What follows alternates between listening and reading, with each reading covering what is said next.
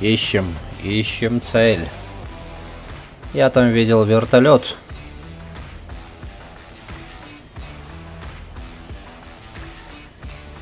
Сейчас развернусь. Где-то в лесах, а вот и он. Так, захватываем Мавериком. Мавик летит на вертолет. Меняем на ГБУ-12 корректируемая бомба и кидаем на танк. Вот Маверик успешно долетел, уничтожил К-50. Ждем бомбу. Ну и как видите, бомба тоже забрала свою цель. Всем привет, ребят. Сегодня у нас, не сказать бы, что обзор, но поговорим. Поговорим э, о новом самолете Британии Harrier GR7. Поговорим мы о новых Мавериках 65D, которые э, уже все видят и в ночное время суток. Ну и, конечно, поговорим об управляемых бомбах ГБУ-12, ГБУ-24, ну и более массивных.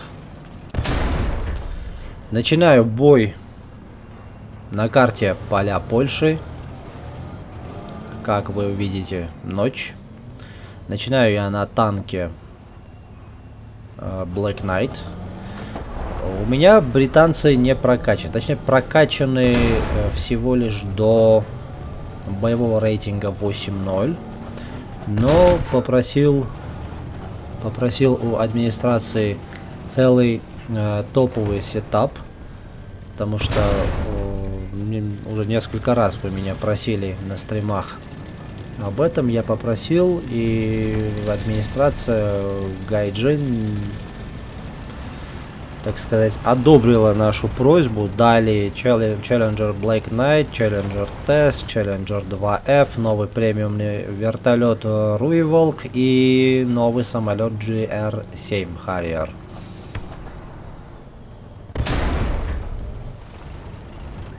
Вторая цель. Покидает нас заблаговременно. Карта, конечно, очень открытая. Еще один советский танк. Посмотрим. Таскаю с собой еще и хэш снаряда. Вот меняю на хэш. Сейчас попытаемся попасть по крыше. Но тут без дальномера, конечно, не обойтись. Ничего серьезного никаких серьезных повреждений я не нанес, но все же помощь, помощь заработал. Меняем снаряд в казеннике на ломик. Не дают пока враги, точнее противники,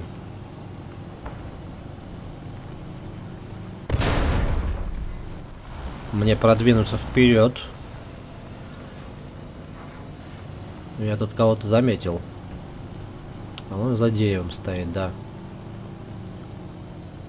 Угу. Командный целеуказатель, потом э, минус привод, но есть попадание по мне, не критичное.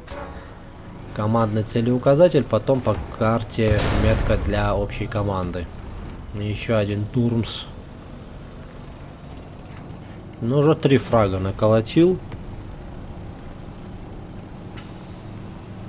Я извиняюсь, только-только переболел ковидом, еще кашель остался, так что заранее извиняюсь. И снова хэш. Нету, нету попадания. Мне еще одна помощь. О, вдали. Видна очередная цель скрылась. Скрылась за деревьями. Ну, все. Убили меня. Ну что ж, время, время брать Харриер. Посмотрите, я меняю подвесы. Я вот в конструкторе создал такой подвес. 4 Маверика и 2, э, 2 бомбы ГБУ-12 Payway.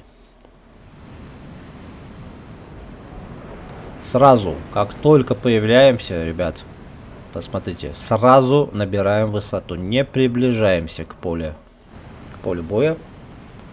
Вот видите, 12 километров. А то не дай бог попадем э, в зону действия Зуров ВТ-1. Набираем высоту. Ну,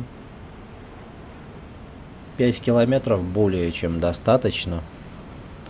Ну, тут чуть-чуть переборщил я с этим. В основном я беру высоту 5 километров и не опускаю скорость ниже э, 370-380 километров в час. Тут чуток увлекся. Ищем. Ищем цель. Благо у нас на самолете есть тепловизор. Ну и как видим, на классической точке С сразу три цели.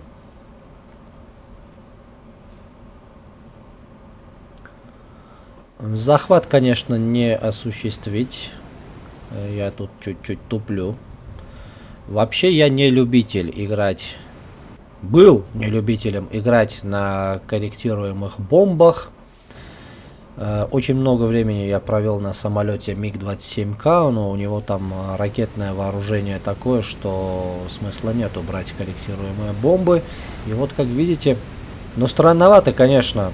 Э, у нас комплекс лазерного целеуказания T-Alt почему-то от третьего лица захватил, но в прицельном режиме не захватывал цель.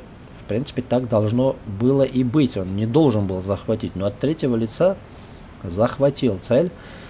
И Маверик успешно поразил, поразил свою цель первую. Сразу набираю высоту.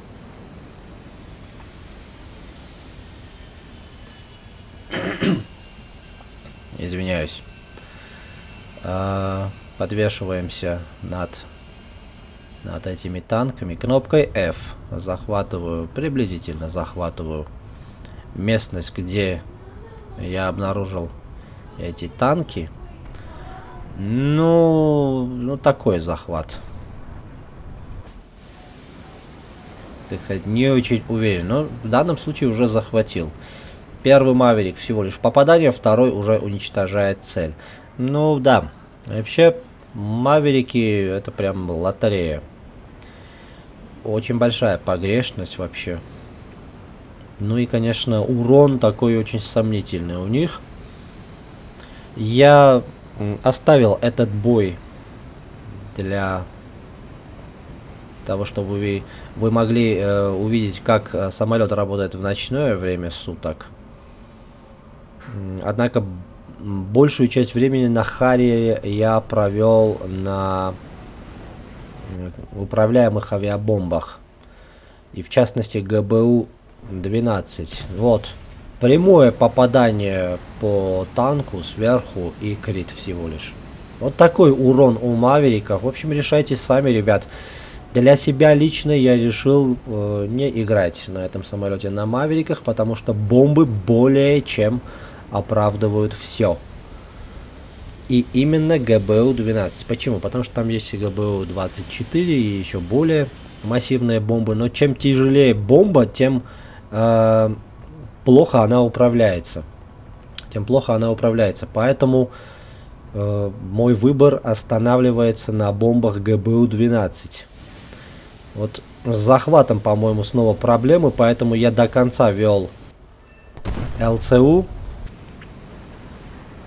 и успешно поразил уже бомбой. Успешно поразил 72-ку Б3. Еще одна бомба у нас остается. Как только уничтожаю, сразу набираю высоту. Э, ну, конечно, многие из вас могут сказать, что ну, повезло. Хан, тебе повезло, потому что не было зениток. Не спешите. Более того, не спешите написать комментарии с таким текстом, потому что я для вас подготовил еще один бой. Сразу после этого мы об этом еще поговорим. Успеем. Так, противник захватывает нашу точку. У меня всего одна бомба. Самая маленькая. Но, как оказывается, ее сполна хватает, чтобы забрать два танка. Вот. Как мы видим, первый был откритован. Э, напарник подъехал, чтобы починить. Очень удачно подъехал, так сказать. И сразу X2. Сразу же X2. Я повторюсь, я э, не любитель корректируемых или управляемых авиабомб, но эти бомбы на этом самолете, на Харе GR-7, бомбы Payway ГБУ-12, ну просто отличные. Просто отличнейшие бомбы. А, отработал, отработал сполна, конечно, Маверики. В принципе, было прогнозируемо. Отработали всего лишь на 50%. Из четырех Мавериков всего два фрага. А четвертый выстрел вы сами видели. Прямое попадание сверху по танку и всего лишь крит. Вот такие вот Маверики. Возвращаюсь я на аэродром, дабы пополнить запас подвесов.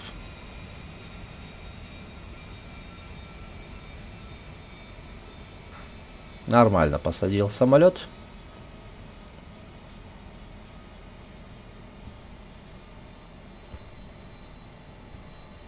Э, скоро остановимся и пополним боекомплект. Но не тут-то было. Не тут-то было еще одна новинка данного патча Су-25К. Но о нем потом. А просушку я сделаю... я не мог просто вырезать этот, этот момент. Просушку а я сделаю, ребят, отдельное видео. Да, вот так меня забирают на аэродроме. Но на сушку не обижаемся. На сушку не обижаемся. Я решил все же закончить данный бой, взяв еще одну новинку данного патча. Дрон. Ну, в данном случае MQ-1 на Hellfire. По-моему, все же Hellfire на дронах очень сильно занерфили. Ну вот. На чем я и говорю. Прямое попадание и урон просто ни о чем. Ну, а дальше попадание через дым и забрал цель. В общем, 9 фрагов э, успел, из них э, 5 фрагов. Ну, 5 фрагов. Раз, два, нет, 4 фрага на самолете. 4 фрага. В общем, второй бой. Попали мы на карту Синай, снова Black Knight. Начинаем. А эти бои, ребята, я, если честно, играл э, чисто ради того, чтобы набрать контент для данного ролика. То есть я не особо осторожничал на Black Knight вообще.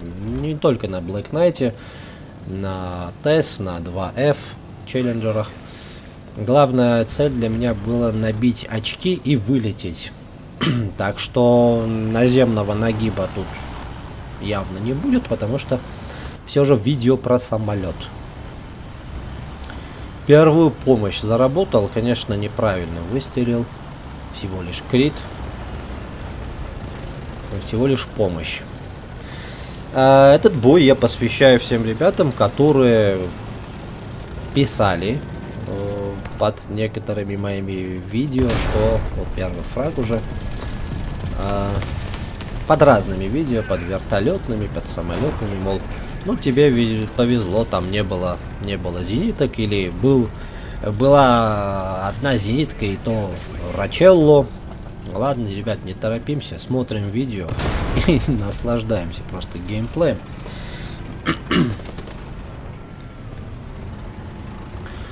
Эм, в яме там совет есть слева, вон, слева от дымов. Знаю, но все равно не осторожничаю, потому что А, уже знаю, что я нафармил на самолет. Одна помощь, один фраг. Нормально, вылетим. Главное было вылететь. И сейчас я беру подвес с шестью управляемыми авиабомбами. Посмотрите. По умолчанию стоит бомбовзрыватель на полторы секунды. Я меняю на 0,5. Что, в принципе, и вам советую. Вылетели, сразу же набираем высоту. Помним, 5 километров, а скорость не ниже 370-380 километров в час. После этого сразу выравниваем самолет, дабы набрать энергию. Скоро 5 километров, и я уже начинаю выравнивать самолет. Все. Ну, на подлете, в принципе, вражеские зенитки меня еще словят, но как только я успею долететь до поля боя, то есть окажусь э, в зените, особенно вражеских респаунов, э, ни одна зенитка, в принципе, меня не увидит. И вот самое главное, это грамотно подлететь к полю боя. Самое трудное, это не быть сбитым э, на первых секундах. И вот я допускаю первую ошибку. Посмотрите, э, как я скинул бомбу. А это перелет. Почему перелет? Потому что надо было опускать нос самолета. Бомба просто не успеет э, настолько сильно изменить свою траекторию падения и забрать цель. Либо надо было сбрасывать э, вот таким образом, не снижая нос самолета, чуть-чуть издалека. Вот первая ошибка, не повторяйте такую ошибку и посмотрите вот, вот как я сейчас скинул бомбу, опустил нос самолета, скинул бомбу и выровнял самолет. И вот у нас бомбочка летит прямо на Тунгуску. Первая ЗРК. Я же все же бой посвящаю этим ребятам, которые все время орут, что мне везет. Мне везет.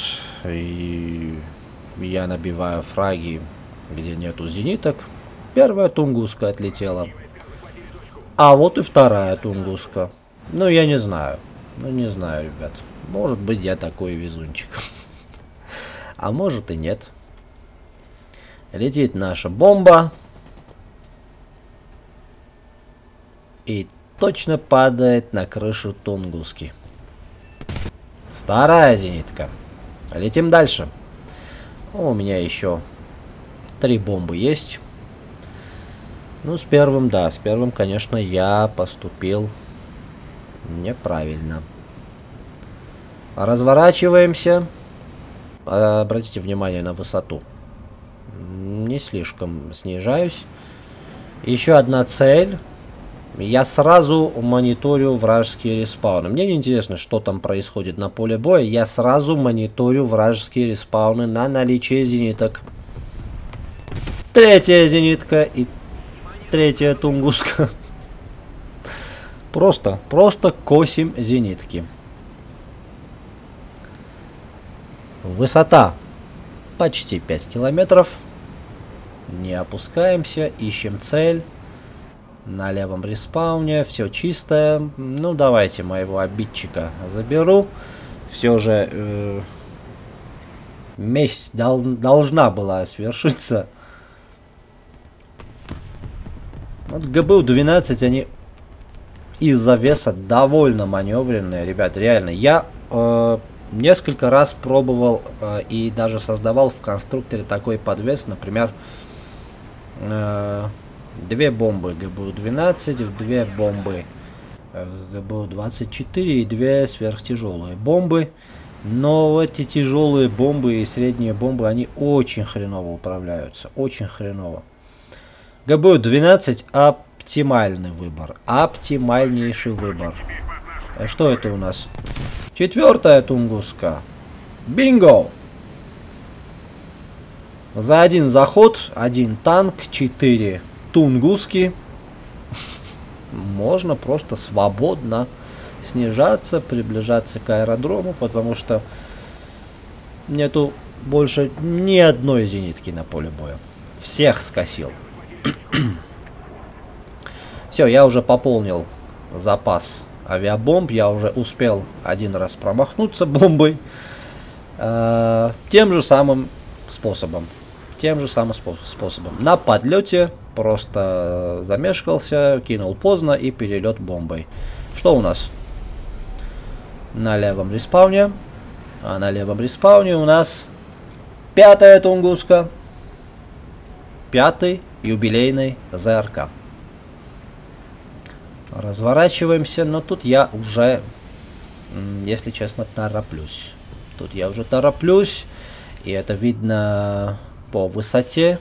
Я чересчур сильно опустился, и это было очень рискованно. Бомба может не успеть. Ну да, в данный момент успевает навестись.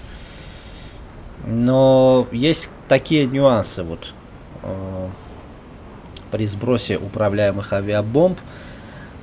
Главное держать высоту, потому что с малых высот у вас бомба просто не успеет реагировать на захват. Есть такая тема, вот сейчас увидите, с автозахватом, когда э, враг очень близко подходит к трупам, а трупы, трупы же более теплые цели. И все, и бомба уже наводится, сбивается захват, бомба наводится на труп. И вот такой вот эффект. Такой же эффект, когда э, вы скинули бомбу, враг э, выстрелил дымовыми, и все, у вас бомба уходит просто в бок. Либо перелет, либо в бок не попадает. Вот. Ну, вот такой вот ролик, ребят. Больше добавить нечего. Качайте бритов, качайте новый самолет Harrier GR7. Просто самолет, подвесы, просто конфетка. Особенно на ГБУ. Маверики уже оставляю на ваш, на ваш выбор. ГБУ 12, оптимальные подвесы. Все, на этом у меня все. Всем спасибо, всем удачи и увидимся у меня на стримах.